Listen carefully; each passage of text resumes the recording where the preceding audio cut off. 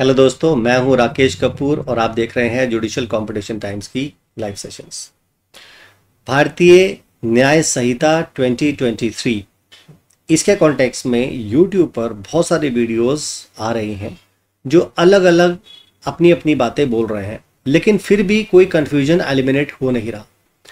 Confusion तभी eliminate होगा जब हम इस एक्ट को डिटेल में वर्ड टू वर्ड स्टडी करेंगे। तो इसलिए हमें काम करते हैं बिना देरी किए इसके सभी सेक्शंस को डिटेल में स्टडी करेंगे वर्ड टू वर्ड सभी इलिस्ट्रेशन को देखेंगे, कहाँ कहाँ क्या क्या चेंजेस हुए। एक्सप्लेनेशन को भी देखेंगे, क्या क्या चेंजेस हुए। सेक्शन में अंदर कंटेंट में क्या क्या वर्ड्स बदल गए, क्या कोई डेफिनेशन बदल गया है, वो सारी चीज़ें हम स्टडी करेंगे। लेकिन इससे पहले हम आगे प्रोसीड करें। वो सभी लोग जो जुडिशरी की तैयारी कर रहे हैं और मेरी ऑनलाइन कोचिंग क्लास को ज्वाइन करना चाहते हैं सो मेरी website Judicial Competition Times dot in पर विज़िट करके क्लासरूम्स के लिए एनरोल कर सकते हैं। और जिन लोगों ने मेरा इंस्टाग्राम और यूट्यूब चैनल पर सब्सक्राइब नहीं किया है सो वो सब्सक्राइब करके ऑल नोटिफिकेशन बिल को क्लिक कर लीजिए ताकि मेरे सभी वीडियो के नोटिफिकेशन आपको मिल जाए। तो चलो ठीक है, देरी नहीं करते और जल्दी से देख लेते हैं कि हमारे पास आज के इस सेशन में क्या है जो नए कानून में पास होने वाला है। तो चलिए स्टार्ट करते हैं और देखते हैं क्या चीज़ें हमारे पास स्टडी करने के लिए अवेलेबल है। तो हम इस वीडियो सेशन में चैप्टर नंबर वन को देखेंगे। और नंबर वन बेसिकली प्रधानमंत्री के बारे में बात करता है और इस सेशन को ताकि लंबा ना हो, एक ही सेक्शन को मैं डिस्कस कर रहा हूँ, ताकि आपको बेसिकली पता चल जाए कि ये एक्ट अप्लाई कहाँ हो रहा है, इसका क्या नाम है और ये काम कैसे करेगा और किस किस लोगों पर अप्लाई होगा और कब से लागू होगा। तो सेक्शन वन को हम देखेंगे। तो चलिए। तो आप कोई भी एक्ट पढ़ लीजिए, उसका जो सबसे पहला सेक्शन होता है, उसका हमेशा शॉर्ट टाइटल होता है short title commencement and application यानी कि हमेशा सब सेक्शन नंबर वन या सेक्शन नंबर वन हमेशा इंडिकेट करता है कि ये एक्ट का शॉर्ट टाइटल क्या है, ये कब कमेंस हो रहा है और ये कहाँ कहाँ अप्लाई होगा। तो इसी कुछ चीज़ों को हम यहाँ देख लेते हैं पहले। तो पहले तो इसका नाम देख लेते हैं, क्या नाम है? वो कहते हैं, इस एक्ट का नाम होगा भारतीय न्याय संहिता 2023 अब हमारे यहाँ पर पहले जो नाम था, भारतीय दंड संहिता या इंडियन पीनल कोड अब वो चीज़ यहाँ पर नहीं है, यहाँ पर एक ही नाम रखा गया है, भारतीय न्याय संहिता। अब कुछ लोग उसे अलग से कोई और इंग्लिश में नाम देने लगे तो मैं उसके बारे में कुछ कमेंट नहीं करना चाहता, लेकिन लेजिस्लेचर इसका सिर्फ़ एक ही नाम बता रहा है, भारतीय न्याय संहिता 2023 अब सवाल ये उठता है कि ये कब लागू होगा? देखिए, अभी तो एक्ट पास नहीं हुआ, लेकिन पूरी पूरी चांसेस हैं कि एक्ट पास ही हो जाएगा, और फिर मजबूरी में आप जानते ही हैं, इसे पढ़ना पड़ेगा। और सारे सेक्शंस क्योंकि रीअरेंज हो रही हैं और फ्यूचर में आपको प्रॉब्लम ना आए तो इसलिए ही मैं एडवांस ही आपको ये दे रहा हूँ ताकि जो लोग जुडिशरी की तैयारी कर रहे हैं साइड बाय साइड इस लेक्चर को भी देख लें ताकि उनको कोई प्रॉब्लम ना आए फ्यूचर में। तो ये एक्ट जब पास होगा, उसके बाद सेंट्रल गवर्नमेंट एक ऑफिशियल नोटिफिकेशन निकाल सकते हैं, जिसमें वो बता देंगे कि हम इसे कौन से फ्यूचर डेट से अप्लाई कर रहे हैं। इवन एक्ट में इन्होंने सबसेक्शन नंबर टू में एक और बात बोली है कि अलग अलग डेट्स दे सकते हैं और अलग अलग डेट्स के लिए अलग अलग प्रोविजंस अप्लाई होंगे। यानी कि ये जो डिफरेंट डिफरेंट प्रोविजंस है, ऐसा भी हो सकता है कि वो सब एक साथ लागू ना हो।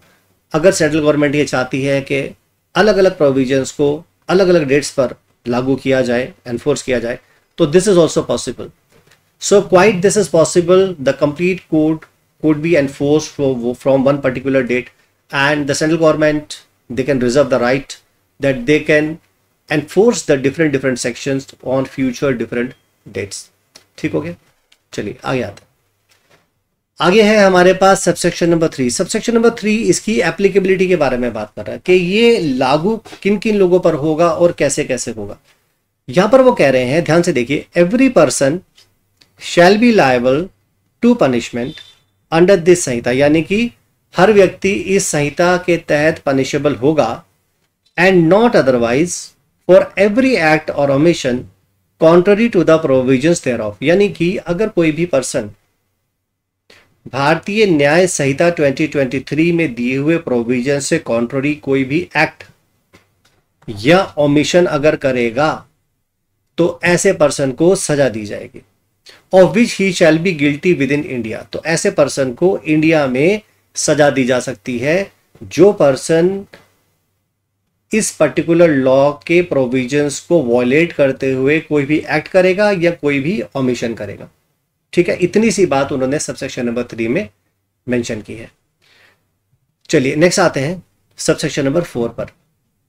Any person liable by any law for time being in force in India कोई भी पर्सन मान लो कोई ऐसा कानून जो कि इंडिया में लागू हुआ हुआ है और उस लॉ से वो व्यक्ति बाउंड है और वो लॉ उसे किसी एक्ट के लिए, उसके द्वारा किए हुए किसी एक्ट के लिए अगर वो लाइबल कर सकता है वो लॉ जो कि, लेकिन वो लॉ हमारे इंडिया में लागू है और वो किसी पर्सन को उसके द्वारा किए हुए किसी एक्ट के लिए अगर लाइबल कर सकता है।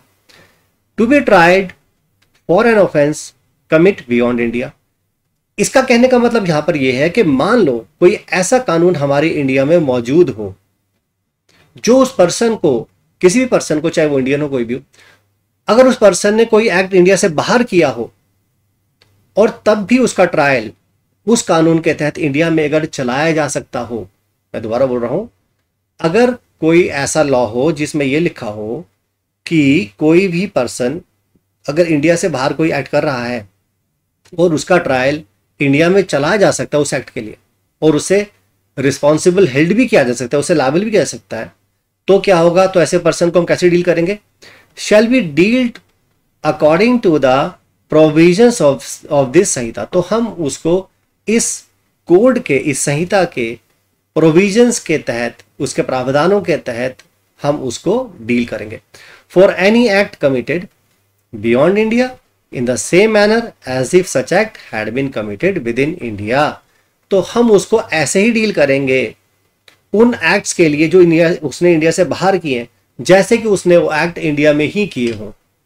तो मैं दोबारा रिपीट कर रहा हूँ कि किसी पर्सन के द्वारा कोई एक्ट इंडिया से बाहर किए गए हों और हमारे पास कोई ऐसा कानून है जो उसका इंडिया में ट्रायल चला रहा है और उसे गिल्टी हेल्ड भी कर रहा है तो ऐसे पर्सन को हम इस एक्ट के तहत इंडिया में ट्रायल चल के उसे पनिश कर सकते हैं, जैसे कि उसने वो एक्ट इंडिया में ही कमिट किया हो। ठीक होगी बात? चलिए, आगे आते हैं। आगे है हमारे पास सबसेक्शन नंबर फाइव वो कह रहे हैं the provision of this Sanhita apply also to any offence committed by अब वहाँ उन्होंने कैटेगरी बनाई है। ये कैटेगरी पहले भी थी तो ये कुछ चेंज नहीं हुआ यहाँ पर। Any citizen of India in any place without and beyond India यानी कि अगर कोई पर्सन इंडियन सिटीजन है, अब वो पर्सन चाहे इंडिया में ऑफेंस कमिट करे, और चाहे वो इंडिया से बाहर जाकर कोई भी ऑफेंस कमिट करे, वो according to the provisions of this particular Sanhita वो लाइबल माना जाएगा।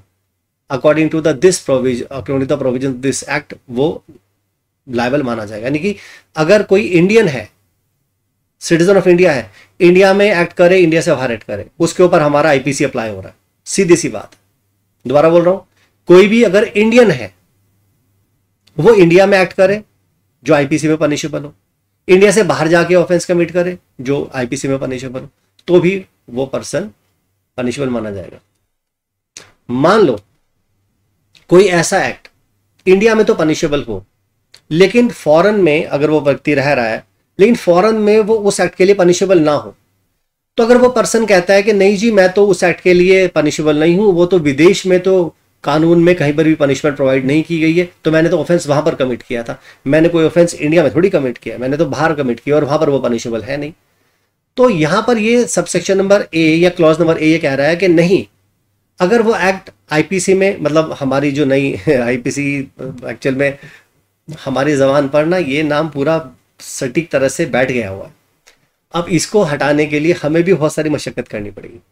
तो भारतीय न्याय संहिता में अगर कोई एक्ट पनिशेबल इंडिया में है, और चाहे विदेश में वो पनिशेबल नहीं भी है तो भी हम उसे इस संहिता के तहत इंडिया में प्रोसिक्यूट कर सकते हैं, उस आदमी पर यह एक्ट लागू होगा। एनी पर्सन ऑन शिप अब यहाँ पर तो हमने इंडियन सिटीजन के बारे में बात की थी। यहाँ पर हम सिटीजन के बारे में बात नहीं कर रहे, यहाँ पर कोई भी पर्सन है। अब ये पर्सन चाहे सिटीजन हो, ना हो, उससे फ़र्क नहीं पड़ रहा। मैं दोबारा बोल रहा हूँ बी क्लॉज जो है वो उन लोगों पे अप्लाई हो रहा है, चाहे वो सिटीजन हो, चाहे ना हो, वो कोई भी हो सकता। है लेकिन वो पर्सन किसी शिप पर है, वो किसी एयरक्राफ्ट पर है, लेकिन वो इंडिया में रजिस्टर्ड है, वो एयरक्राफ्ट या शिप अब ये एयरक्राफ्ट या शिप दुनिया में कहीं पर भी रजिस्टर्ड है इंडिया में, लेकिन हो कहीं पर भी तो उस पर भी हमारा ये पर्टिकुलर एक्ट अप्लाई होगा। तो अगर देखो, एक इसके लिए कॉमन सेंस की बात है कि कोई भी ऐसा व्हीकल चाहे वो शिप हो, चाहे वो एयरक्राफ्ट हो, अगर वो इंडिया में रजिस्टर्ड है तो वो इंडियन टेरिटरी मानी जाती है। अब वो इंडियन टेरिटरी में वो व्यक्ति मौजूद है। आप कहें, सर, वो तो हाई सी में है, वो तो समुद्र में कहीं दूर है, कहीं और विदेश में, वहाँ पर देखिए शिप तो इंडियन ही है ना तो इंडियन लॉ ही उसके ऊपर लगेगा। अगर सर, वो अंग्रेज़ हुआ या फॉरनर हुआ तो तो भी अप्लाई उसके ऊपर हमारा एक्ट होगा, क्योंकि वो इंडियन शिप पर है और वो इंडियन टेरिटरी मानी जाएगी। तो इसको इस कॉन्टेक्स्ट में देखिए आप। तीसरा वो कहते हैं सी क्लॉज में any person in any place without and beyond India committing offence targeting a computer resource located in India कोई पर्सन इंडिया से बाहर रह रहा है, लेकिन वो हमारे किसी कंप्यूटर रिसोर्स को टारगेट कर रहा है इंडिया में। हो सकता है चाइना में बैठ के कोई हैकिंग कर रहा हो पाकिस्तान में बैठकर कोई हैकिंग कर रहा हो, फिर क्या होगा? तो अगर कोई व्यक्ति विदेशों में बैठकर हमारे इंडियन टेरिटरी को हैक कर रहा है थ्रू कंप्यूटर रिसोर्स या कंप्यूटर प्रोग्रामर प्रोग्रामिंग को, किसी बैंक के ट्रांजेक्शन को, या कोई हमारी इंपॉर्टेंट गवर्नमेंट की वेबसाइट्स को टारगेट कर रहा है, किसी की पर्सन के अकाउंट को हैक कर रहा है, विदेश में बैठ के तो भी वो हमारे आईपीसी से कंट्रोल होगा, और ऐसा माना जाएगा जैसे उसने ये ऑफेंस इंडिया में ही कमिट किया इसका एक्सप्लेनेशन समझते हैं। यहाँ पर वो कहते हैं in this section word offence include every act committed outside India which if committed in India would be punishable under this Sanhita तो कोई भी एक्ट या कोई भी उसने अगर मिशन किया है इंडिया से बाहर किया है तो अगर वो इंडिया में कमिट किया होता, अगर वो पनिशेबल होता तो फिर वो पनिशेबल माना जाएगा इंडिया में भी। According to this Sanhita punishable माना जाएगा। तो हमको बेसिकली देखना है कि वो एक्ट इंडिया में पनिशेबल है या नहीं है। उसने एक्ट बाहर किया, नहीं किया, हमें इस बात से मतलब नहीं अगर इंडियन है एक्ट पनिशेबल है संहिता में, अब वो चाहे विदेश में जाकर करे, चाहे इंडिया में करे he will be he will be punishable for that अब देखिए, यहाँ पर इलस्ट्रेशन भी दिया मतलब एग्ज़ाम्पल दिया है कि उन्होंने, और वो कहते हैं, मान लो कोई पर्सन इंडियन है, और वो मर्डर कमिट कर रहा है इंडिया से बाहर तो उसका ट्रायल और उसका कन्विक्शन मर्डर के लिए हम इंडिया में कहीं पर भी चला सकते हैं, जहाँ पर उसे गिरफ़्तार करेंगे, जहाँ पर वो पाया जाएगा, जहाँ पर वो एजेंसीज के द्वारा गिरफ़्तार होगा। ही में भी फाउंड का मतलब यह है, जहाँ पर वो मिलेगा। कहाँ मिलेगा? जहाँ से गिरफ़्तार कर लेंगे, जहाँ पर वो सरेंडर कर देगा, जहाँ पर खुद से कोर्ट के सामने पेश कर लेगा, जहाँ खुद से पुलिस के सामने आ जाएगा पुलिस वाले गिरफ़्तार कर लेंगे। चाहे वो विदेश में भी क्यों ना कमिट करके आया हो हाँ तो यहाँ पर टेरिटोरियल एरिया विदेश का नहीं देखेंगे इंडिया का ही माना जाएगा। और हमारा आईपीसी उस पर मतलब हमारा जो जो नया लॉ है ये, भारतीय न्याय संहिता, उस पर अप्लाई होगा। ठीक है? चलिए नेक्स्ट देखते हैं subsection number six nothing in this Sanhita shall affect the provision of any act for punishing mutiny desertion of officers soldiers sailor airman यानी कि हमारा ये जो नया एक्ट है, ये कहीं पर भी कोर्ट ऑफ़ मार्शल के जो लॉ हैं, जो आर्मी एयरफोर्स नेवी के पर्सनस को प्रोसिक्यूट करने के लिए, उनके द्वारा किए हुए ऑफेंसेस को अगर गवर्न कर लिए कोई ऑलरेडी लॉ एग्जिस्ट कर रहे हैं तो उनको हमारा ये संहिता, भारतीय न्याय संहिता कहीं पर भी अदरवाइज़ प्रजुडाइज नहीं करता उससे इफ़ेक्ट नहीं करता। वो पैरल लॉ रहेंगे उनको प्रोसिक्यूट करने के लिए, और ये हमारा लॉ क्योंकि सिविलियन के लिए है तो सिविलियन के लिए ये अप्लाई होगा। So this is what is mentioned in number six so that is all in relation to Bharatiya Nyaya Sanhita 2023 chapter number one के सेक्शन नंबर वन के कॉन्टेक्स्ट में जो भी चेंजेस हो रहे हैं, सभी सेक्शंस में, उन सबको हम लोग यहाँ पर देख रहे हैं वर्ड टू वर्ड तो कहीं पर भी कुछ छूटेगा नहीं, कुछ चूक नहीं होगी।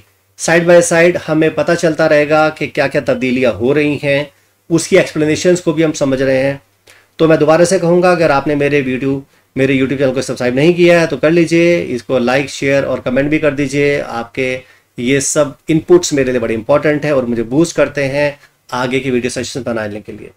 तो अभी जो नेक्स्ट सेशन है मेरा, वो सेक्शन नंबर टू के कॉन्टेस्ट में होगा तो उसे मिस मत कीजिएगा। तो उसको भी आप देख लीजिएगा ताकि सेक्शंस में क्या क्या तब्दीलियाँ हुई हैं और क्या क्या चेंजेस हुए हैं as per as per section number to वो भी हम देख लेंगे। तो that is all for today thank you so much जय हिंद जय भारत